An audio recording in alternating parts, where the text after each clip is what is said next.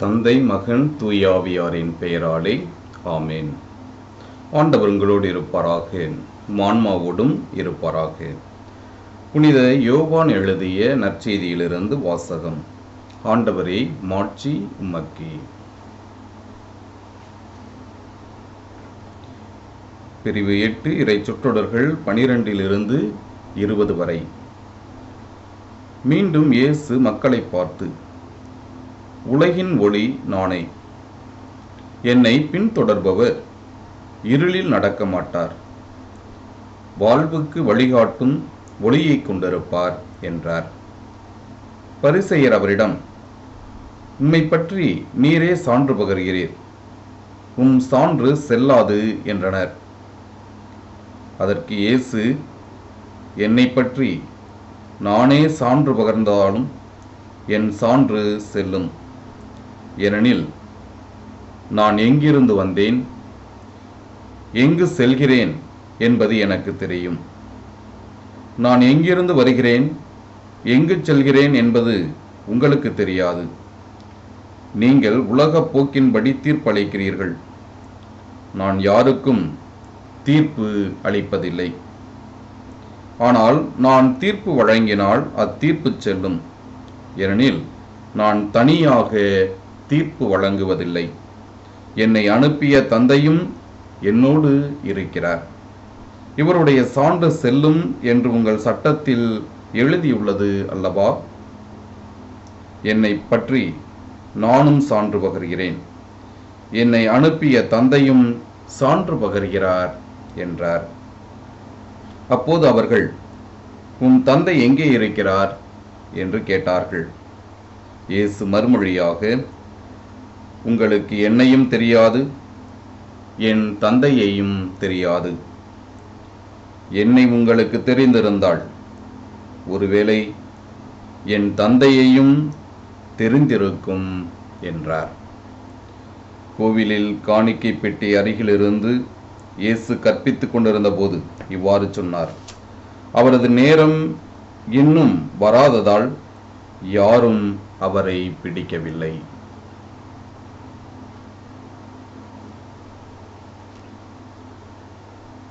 ஆண்டவரின் அருள்வாக்கு கிறிஸ்துவே மக்கு புகழ்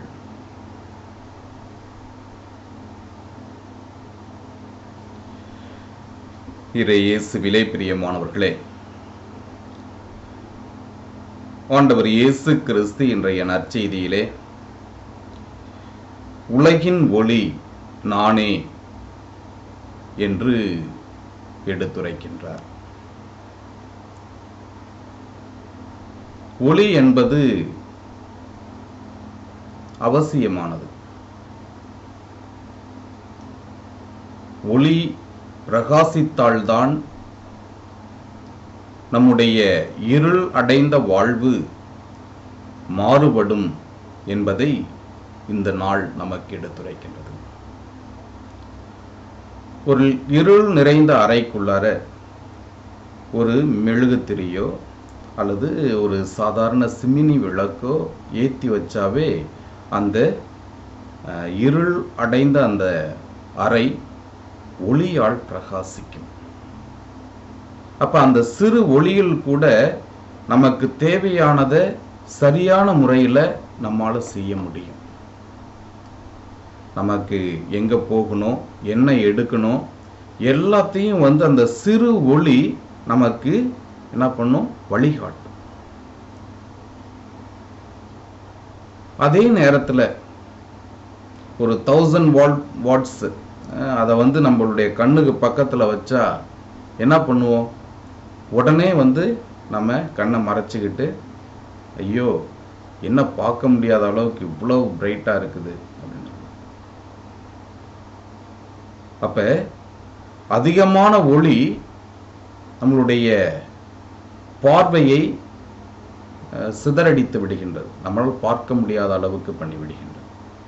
ஆனால் ஒரு சிறு ஒளி இந்த சிமினி விளக்கு அல்லது மெழுகு திரியினுடைய ஒளி நமக்கு தேவையானதை செய்ய தேவையான எல்லா விஷயங்களையும் சரியான விதத்திலே செய்ய அது உதவியாக இருக்கின்றது. இன்றைய நாளிலே இன்றைய வாசகங்கள் அனைத்தும் அதைத்தான் எடுத்துரைக்கின்றன.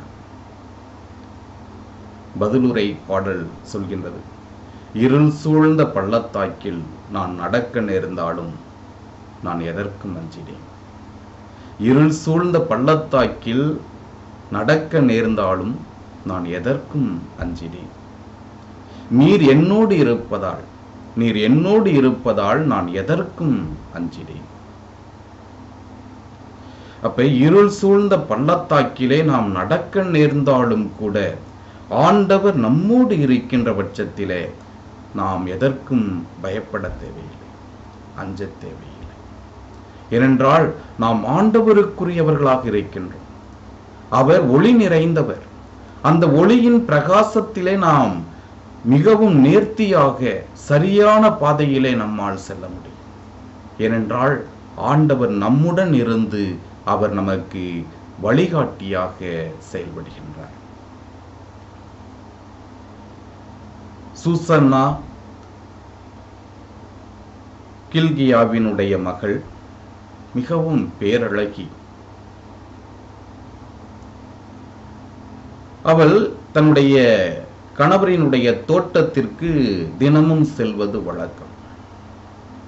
நண்பகல் வேலை சூரியன் சூரியனினுடைய ஒளி பிரகாசிக்கின்ற அந்த சமயம்.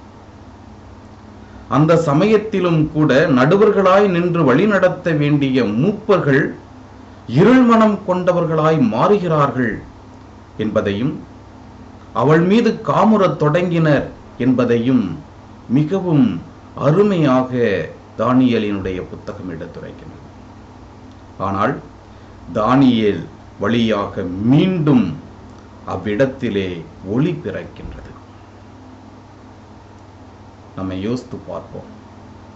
ஒரு சமுதாயத்தை வழிநடத்தக்கூடியவர்கள் சமுதாயத்தை முன்னின்று அஹ், போராடி பல்வேறு இருள் நிறைந்த அந்த சமூகத்தை மாற்றக்கூடியவர்கள் அவர்களினுடைய மனம் இருளாயிருந்தால் எப்படி அவர்களை நம்பி இருக்கின்ற மக்களுக்கு ஒளியை கொண்டு வர முடியும்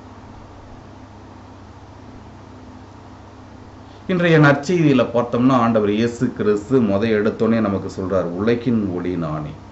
என்னை பின்தொடர்பவர் இருளில் நடக்க மாட்டார் வாழ்வுக்கு வழிகாட்டும் ஒளியை கொண்டிருப்பார். அவரோட இருந்தோம்னா நாமும் பிரகாசிக்கக்கூடியவர்களாக இருளிலே வாழ்கின்ற மக்களுக்கு ஒளியாக நம்மால் வாழ முடியும் என்பதை எடுத்துரைக்கின்றார். இது எந்த பின்னணியில இப்படிப்பட்ட ஒரு வார்த்தையை சொல்கின்றார்? யூதர்களினுடைய கூடார விழா நடைபெற்று கொண்டிருக்கின்றது. அந்த கூடார விழா நடைபெற்றிருக்கிற அந்த சமயத்தில் பார்த்தோம்னா பிரகாசம் நிறைந்த விளக்குகள் எல்லாம் வைக்கப்பட்டிருக்கின்றன. அதிலும் குறிப்பாக தங்கத்திலா தங்கத்தால் நடப்பட்ட இரண்டு அஹ், ஒளி விளக்கு மிகவும் பிரகாசமாக சுடர்விட்டு எரிந்து கொண்டிருக்கின்றது. அதாவது நம்ம சொல்ல போனோம்னு வச்சுங்களேன் நம்ம ஊர்லலாம் திருவிழா கொண்டாடுறோம் அப்படின்னா எவ்வளவு பிரகாசமான விளக்குகளை எல்லாம் விளக்கு தோரணைகளை எல்லாம் ஒளி விளக்கு தோரணைகளை எல்லாம் நாம் வந்து கட்டுவோம் தோரணைகளை அமைப்போம் அப்படிங்கிறது நமக்கு தெரியும். அதே போலத்தான் யூதர்களினுடைய விழாவின் சமயத்திலே அஹ், முழுவதும் ஒளியினாலே பிரகாசித்துக் கொண்டிருக்கின்றது. இந்த நேரத்திலே ஆண்டவர் இயேசு கிறிஸ்து இப்படிப்பட்ட வார்த்தைகளை சொல்கின்றார். என்ன சொல்கின்றார்? நானே உலகின் ஒளி உலகின் ஒளி நானே அப்படின்னு எடுத்துரைக்கிறார். எதற்காக இப்படிப்பட்ட வார்த்தைகள் ஏனென்றால் இந்த விழாவை முன்னெடுத்து நடத்தக்கூடிய வழிகாட்டிகள் மூப்பர்கள் தலைவர்கள் குருக்கள் எல்லாரும் எல்லாருடைய மனமும் இருள் அடைந்ததாக இருந்தது. எப்படிப்பட்ட இருள்? கடவுளால் அனுப்பப்பட்ட மகனை அதாவது ஆண்டவர் இயேசு கிறிஸ்துவை ஏற்றுக்கொள்ள மனம் இல்லாதவர்களாக இருளடைந்த மனமாக அவர்களினுடைய மனம் இருந்தது என்பதை மிகவும் தெல்ல தெளிவாக ஆணித்தரமாக எடுத்துரைக்கின்றார். இப்படிப்பட்ட இந்த உலகிற்கே ஒளியாக இருக்கக்கூடிய ஆண்டவர் இயேசு கிறிஸ்து அவர்களினுடைய மத்தியில் இருந்தும் அதை அவர்கள் உணராதவர்களாக பரிசெயர்களினுடைய மனம் இருள் அடைந்ததாக இருந்தது என்பதை நாம் இங்கே பார்க்கின்றோம்.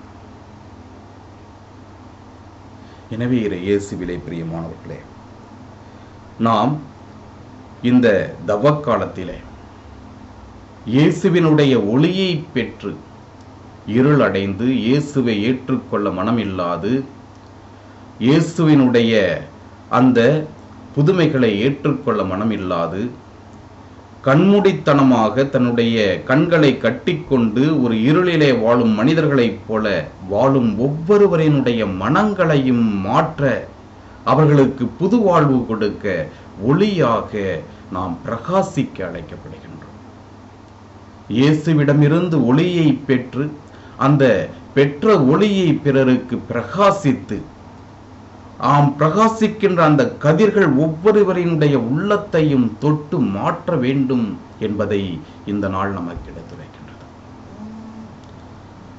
ஆண்டவரே என் ஒளி அவரே என் மீட்பு யாருக்கு நான் அஞ்ச வேண்டும்? ஆண்டவரே என் ஒளி அவரே என் மீட்பு யாருக்கு நான் அஞ்ச வேண்டும்? இதோ ஆண்டவர் இயேசு கிறிஸ்து நமக்கு ஒளியாக இருக்கின்றார். நம் ஒவ்வொருவருக்கும் வாழ்வாக இருக்கின்றார் வழிகாட்டியாக இருக்கின்றார். அதனால நாம ஆண்டவரை நோக்கி செல்வோம். அவரிடம் இருந்தோம் என்றால் அவரோ அவருடன் இருந்தோம் என்றால் அவர் நம்முடன் இருந்தார் என்றால் நாம் ஒளியிலே திளைத்திருப்போம். நாம் பெற்ற அந்த ஒளி நம்மை பிரகாசமான வாழ்விற்கு முடிவில்லா நித்திய வாழ்விற்கு மீட்பு தரிய மீட்பை மீட்பை கொண்டு வருகின்ற வாழ்வுக்கு நம்மை அழைத்துச் செல்லும் என்பதிலே எந்த சந்தேகமும் இல்லை. எனவே நாம் ஒவ்வொருவரும் அப்படிப்பட்டதொரு ஒளியாக பிறருக்கு வாழ்வை கொடுக்கின்ற பிறருடைய ஆன்மாவை இருளிலிருந்து மீட்கின்ற பிரகாசமிக்க ஒளியாக செயல்பட இன்றைய நாளிலே ஆண்டவரிடம் கேட்போம். ஆண்டவர் நமக்கு அத்தகைய அருள் வரத்தை வழங்குவார். ஆமீன். ஜபம். அன்பின் பரலோக பிதாவே இதோ எங்களுடைய வாழ்வு. கல்லாமை அறியாமை பொறாமை போன்ற இத்தகைய மைகளிலே முடங்கி போய் கிடைக்கின்றது. எங்களுடைய வாழ்வை முது பிரகாசமிக்க ஒளியால் மாற்றும். உம்முடைய பிரசன்னத்தை நாங்கள் உணர்ந்து கொள்ளக்கூடிய அருள் வரத்தை தாரும். உம்முடைய பிரசன்னத்தை உணர்ந்த மக்களாக உம்மிடமிருந்து பெற்ற ஒளியை கொண்டு ஒவ்வொரு ஆன்மாவையும் மீட்டெடுக்கின்ற ஒரு பணியாளராக செயல்பட எங்களுக்கு உமது அருளை தாரும் எங்களை ஆசிர்வதியும் புனிதப்படுத்தும் வழி நடத்தும். ஆமேன். ஆண்டவர் உங்களோடு இருப்பாராக மான்மாவோடும் இருப்பாராக. எல்லாமல்ல இறைவன் தந்தை மகன் தூய் ஆவியார் உங்கள் அனைவரையும் நிறைவாக ஆசிர்வதிப்பாராக. ஆமேன்.